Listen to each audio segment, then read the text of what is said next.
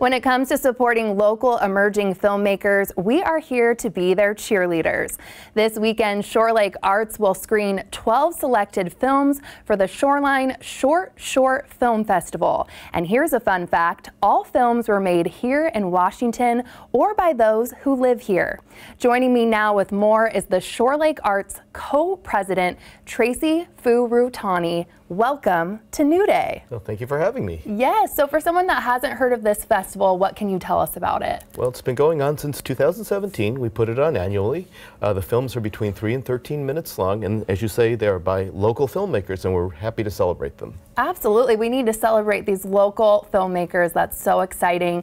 And so we want to get to, obviously, some of these films that you're profiling. So the first one is a documentary that is beautifully shot, King of Gorse Creek. Tell us about it.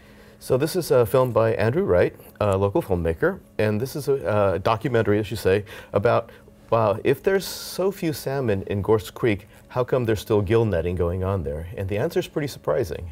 Wow, at that tease. Okay, Tracy, we need to we need to go watch it. Mm. The next one, I, I love a romance romance drama. So tell me more about the film When the Man Comes Around. Yes, this uh, film is, as you say, it's a very intriguing uh, romance, and um, it's really fraught because basically there's two couples involved. And the fact that basically there's an interplay between the couples as well as within intra-couple makes for a very, very tense film, but with a very satisfying conclusion.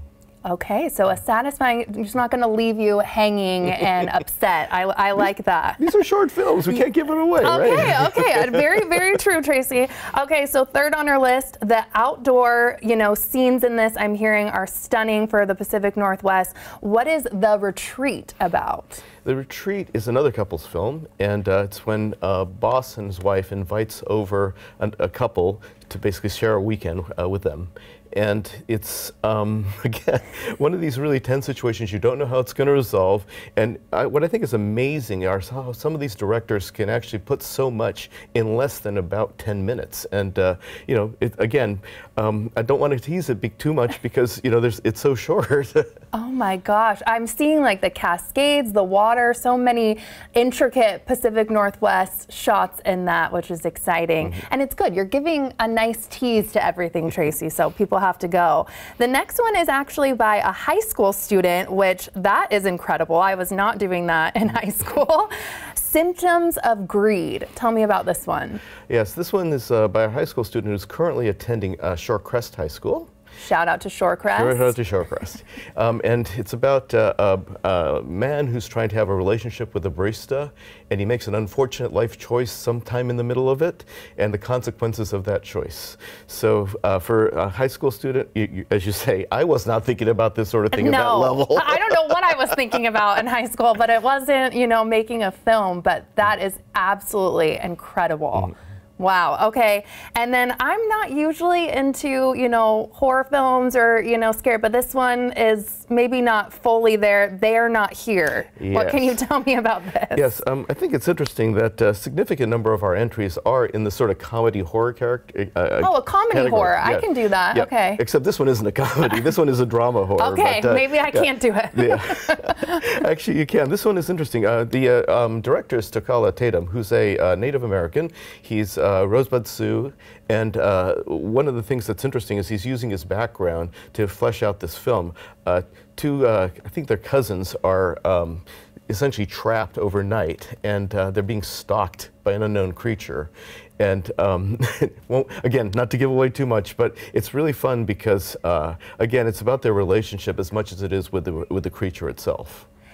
And it seems like all these films doing it short, to your point, would be difficult to pack everything in, but you're saying you get a full story, it's a full film, and you're leaving feeling satisfied. Can you speak on that? Exactly. Um, these are uh, films that have plots, um, though some of them, of course, are more uh, videos, uh, music video kind of things. There are animations as well.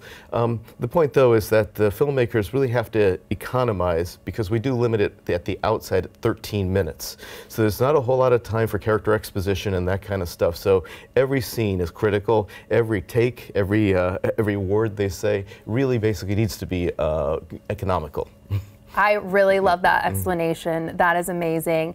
And what do you want, you know, people to know about having this platform for emerging local artists and how amazing that is for locals here? I think it's critical because, um, of course, we know about the big film festivals around here, which attract national and international attention. I think it's time to celebrate some of our local filmmakers, and we're really the only arts organization between Snohomish County and downtown Seattle. So we like thinking we serve really that North County area, and uh, there's a lot of talent. You know, you know, I, am clearly. I'm, I mean, that is some talent. I'm excited to watch. Go ahead. Oh, Sorry. No, no. I was just going to say that. Yeah, please come. okay, you sold me, Tracy. Are there any awards for the best films in this, or filmmakers, or how do you guys vote on that? Absolutely. We have a panel of four judges, and they're um, uh, they're going to basically award a best picture. There's also a crowd favorite award as well, and the, both of them are thousand dollar awards, so we have a little That's bit really of incentive. That's really exciting, yes. Yeah, and of course they get the coveted Sasquatch Award, which is basically a, literally a Sasquatch. you guys know the Pacific Northwest. Mm. I absolutely love that. And can people already see these trailers that we were viewing in, in full? Is that on the website? Yes, it is. It's on our ShoreLake Arts website. Tracy, thank you so much for bringing awareness to these local filmmakers and films. I'm really excited, and I'm even going to see that last one. It didn't sound too scary, so I'm in.